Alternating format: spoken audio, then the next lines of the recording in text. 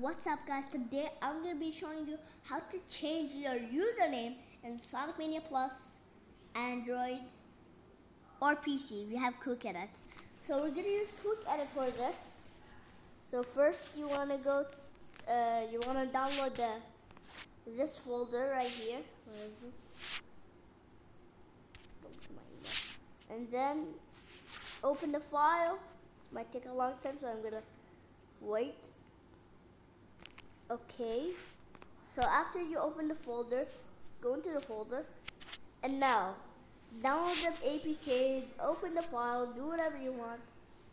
Enter the RSDK folder. Click V5. Then you're gonna see all of these, especially in the mods folder.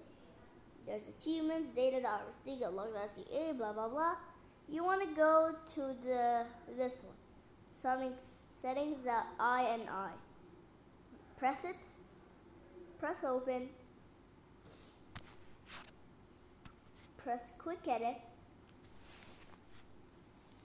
then what you can do is that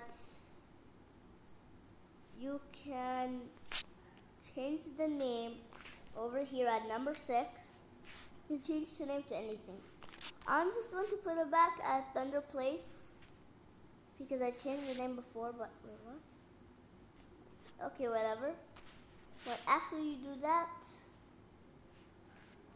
you have it. Then you can go to Sonic Mania and enjoy your new username, like you own the game. Hope, hope you enjoyed. See you next time.